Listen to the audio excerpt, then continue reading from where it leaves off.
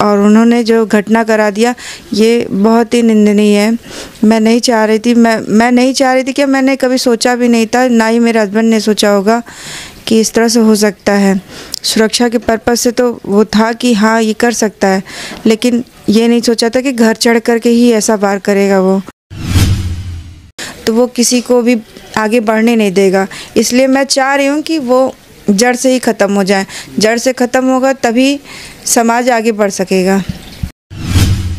आपने देखा कल सज़ा हुई अतीक अहमद, जो उनका किस तरीके से खौफ पूरे प्रयागराज में रहा, किस तरह से दिन दहाड़े गोलीबारी चली, आपके पति की भी हत्या कर दी, और ना जाने उनके गुनाहों की संख्या कितनी बड़ी हो। आप सबसे पहले क्या कहेंगी जब कल सज़ा का ऐलान आपने सुना?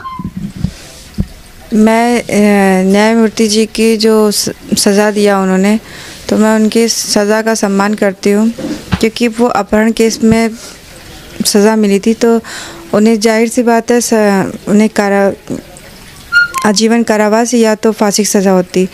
मैं मांग फांसी की ही कर रही थी, क्योंकि मुमकिन था, और मैं चाह रही थी, क्योंकि एक तरह से अतीक जिस तरह से आ कर के मेरे हस्बैंड को ख़त्म किया, जो कि मेरे हस्बैंड कभी कुछ नहीं, सिर्फ़ कलम की लड़ाई लग रहे थे और अपने इन कागज़ पत्तों के ज़रिए ही उन्होंने जो कुछ किया। कभी उनके घर में या उनके परिवार में या किसी को भी चोट नहीं पहुंचाई। और आज वो उन्होंने, उनके बच्चों ने आकर के और उन्होंने जो घटना करा दिया, ये बहुत ही निंदनीय है। मैं नहीं चाह रही थी, मैं मैं नहीं चाह रही थी कि मैंने कभी सोचा भी नहीं था, ना ही मेरे हस्बैंड ने सोचा होगा कि इस तरह से हो सकता है। सुरक्षा के पर्पज़ से तो वो था कि हाँ ये कर सकता है, लेकिन ये नहीं सोचा था कि घर चढ़ कर के ही ऐसा वार करेगा वो। तो मैं, मेरे समझ से ये ठीक नहीं था। मैं तो फांसी की ही मांग कर रही थी। क्या अभी आपको लगता है जिस तरीके से जेल में रहते हुए अतीक अहमद ने हत्या करा दी अपने गुर्गों से, अभी भी डर लगता है जब तक जब तक उसे फांसी की सज़ा ना हो? या लोग तो ये भी कह रहे थे कि इंसाफ मिलना चाहिए, वो ख़त्म होना चाहिए, लोग गाड़ी पलटने की भी मांग लगातार कर रहे थे। क्या आपको लगता है कि अभी भी डर उसका खौफ बना रहेगा? अभी भी कोई ऐसा फ़र्क नहीं पड़ता सिर्फ़ जेल में रहने देखिए, सज़ा तो मिली है, लेकिन सज़ा में ग्यारह लोग नामजद थे, जिसमें से तीन को मिला और एक ख़त्म हो गया बाकी सात रिहा हो गए। तो आज ऐसा नहीं है कि वो बरेली जेल में या साबरमती जेल में बैठा था तो वो नई घटना किया। आज सबूत के तौर पे मेरे हस्बैंड को सारा समाज और सारा यानी पूरा समाज और जहाँ तक है सबको पता है इस चीज़ की। खबर हो चुकी है कि कैसे उमेश पाल को ख़त्म किया गया और कौन कौन कैमरे के सामने आया, ये सब सब चीज़ क्लियर दिख रहा था। तो वो घटना कल को किया है, हो सकता है आज भी करे, मेरे साथ भी कर सकता है, मेरे परिवार के साथ कर सकता है।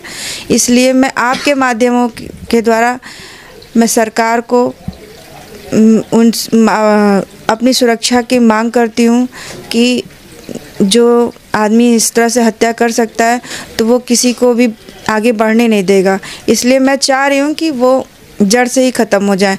जड़ से ख़त्म होगा, तभी समाज आगे बढ़ सकेगा। ज़ाहिर सी बात है, बाबा जी ने जो बात कही है कि माफियाओं को मिट्टी में मिला दिया जाएगा तो माफिया का क्रेडिट तो अतीक अहमद अशरफ खुद अपने आप ले लिए, क्योंकि उन्होंने जिस तरह से किया, रंगदारी किया, और दूसरों के यहाँ, यानी आप विवरण सब जानते ही हैं, मुझे बताने की ज़रूरत ही नहीं पड़ेगी। तो जब इस तरह से कर सकता है वो आदमी तो वो जीवित रहने लायक भी नहीं है। तो इन्हें माफियाओं को जो बाबा ने कहा है तो वो सत्यता कर दें कि उन्हें मिट्टी में मिला दें। तभी मेरे मुझे शांति मिलेगी कि उन्होंने जो अपने वचन को कहा है तो पूरा किया उन्होंने।